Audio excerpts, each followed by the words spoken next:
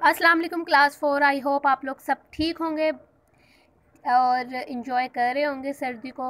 तो बेटा आ, आपको पता है जैसे चैप्टर अलेवन आपका चल रहा था ठीक है? द थाउज़ेंड रुपी नोट तो इसके वर्ड्स मीनिंग आपको आपके हो चुके थे। इसकी आज मैं आपको सारी स्टोरी बताऊँगी ताकि आपको अंडरस्टैंड कर ताकि आप अंडरस्टैंड कर सकें इस सारी स्टोरी को ठीक है बच्चों? तो इसकी स्टोरी ये है एक आदमी और उसकी बीवी एक गाँव में रहते थे, छोटे से गाँव में रहते थे। वो गाँव जो था ना, हैदराबाद के बिल्कुल नज़दीक था। तो हैदराबाद के बिल्कुल नज़दीक था तो वो जो वाइफ थी ना, यानी वो अक्सर हैदराबाद जाती थी और वहाँ पे शॉपिंग करती थी, ठीक है? ख़रीदारी करती थी। और एक दिन क्या हुआ, एक दिन वो लेटी हुई थी, सोई हुई थी तो वो उस कह उठी और वो कहती कि, ना, मैंने हैदराबाद जाना है शॉपिंग करने के लिए, कुछ सामान ख़रीदने के लिए। अपने हस्बैंड से बोलती है, अपने शोहर से कहती है, ठीक है? उसका हस्बैंड कहता है, चलो, ठीक है। वो फिर लेट जाती है, फिर उसका हस्बैंड आता है, एक चाय का कप बना के और अपनी वाइफ को बड़े प्यार से कहता है कि, ये तुम्हारे लिए मैं चाय बना कर लाया हूँ, ये तुम चाय का कप पी लो। और ये वन थाउज़ेंड यानी एक हज़ार रुपये का नोट मैं तुम्हारी टेबल के पास रख रहा हूँ, ताकि तुम शॉपिंग करने जाओ, यानी सिटी में जाओ शॉपिंग करने तो ये साथ ले जाना। वो औरत कहती है, चलो ठीक है।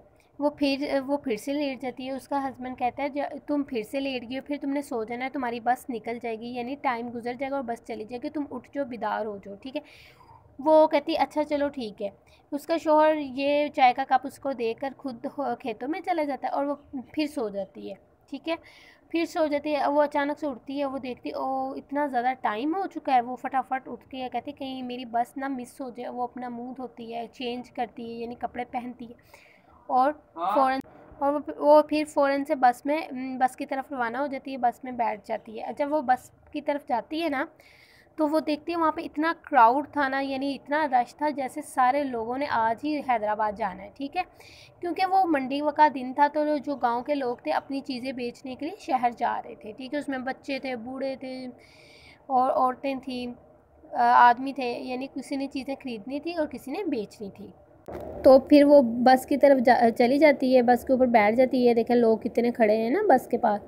तो वो बैठ जाती है फिर वो बस में भी सोने लग जाती है। वो उसको नींद आ जाती है वो सो जाती है। जब वो अचानक से ना बस के ऊपर से कोई चीज़ नीचे गिरती है सड़क पर तो बस रुकती है तो उसको फिर होश आता है कि मैं तो बस के अंदर बैठी हुई हूँ फिर वो उठती है वो कहती है ओहो आ, मुझे तो बिदार रहना चाहिए यानी मुझे जागना चाहिए ये ना हो मेरे पास इतने पैसे हैं कि वो चोरी हो जाए। अच्छा ये सोच कर ना वो जो लेडी होती है यानी औरत अपना पर्स खोल कर देखती है तो वो पर्स में देखती है उसका वन थाउज़ेंड रुपीज़ होते ही नहीं है। वो बहुत टेंशन में आ जाती, इतनी ज़्यादा परेशान हो जाती है वो सोचती है कि ये जो साथ मेरे औरत बैठी है ना, इसी ने चोरी की होगी। तो वो ना कहती, ना तो मैं पुलिस को बुलाऊँगी और ना ही मैं शोर मचाऊँगी। तो वो जो साथ औरत बैठी होती है ना, वो सोई होती है और खराटे ले रही होती है। तो ये जो होती है ना ये उठती है और उसके ना थैले में से, क्या कहते हैं, एक हज़ार रुपये का नोट निकाल लेती है। और फिर जो बस है ना वो हैदराबाद पहुँच जाती है और वहाँ से वो फिर नीचे उतरती है और बहुत सारी शॉपिंग करती है। शॉपिंग करने के बाद, शॉपिंग करने के बाद वो फिर से बस की तरफ़ आती है, जो, जिस बस ने गाँव में जाना होता है मतलब गाँव की तरफ़ जा रही होती है वो बस, उसी के गाँव की तरफ़ तो वो फटाफट उस बस में चढ़ जाती है। वहाँ वो देखती है कि बहुत सारे चेहरे अजनबी और बहुत सारे चेहरे ऐसे हैं जो वो जानती है, ठीक है? उसमें से एक औरत वो भी थी जिसने इसके जिसके पैसे गुम हुए थे, यानी इसने चोरी किए थे, यानी उसके बैग से थैले से निकाल के उसने समझा कि ये मेरे पैसे हैं।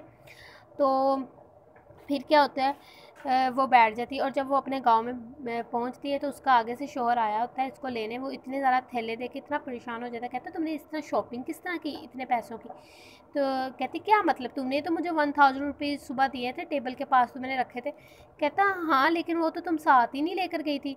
तो फिर वो उसको समझ आती है कि बस में जो बैठी, औरत बैठी थी, जिसके पैसे निकाले थे, वो इसलिए तो परेशान थी क्योंकि मैंने क्योंकि मैंने, क्योंकि उस औरत ने पैसे निकाल लिए थे। तो ये वो पीछे मुड़ के देखती है तो वो बस चली जाती है और उसका हस्बैंड कहता है, क्या हुआ क्या हुआ? वो कहती है, कुछ भी नहीं, वो नहीं बताती। क्योंकि उसके पैसे तो वो लेकर ही नहीं जाती। तो ये, बेटा, ये इसकी स्टोरी थी बड़ी अच्छी सी। तो आई होप आपने इन्जॉय किया होगा। अल्लाह हाफिज़।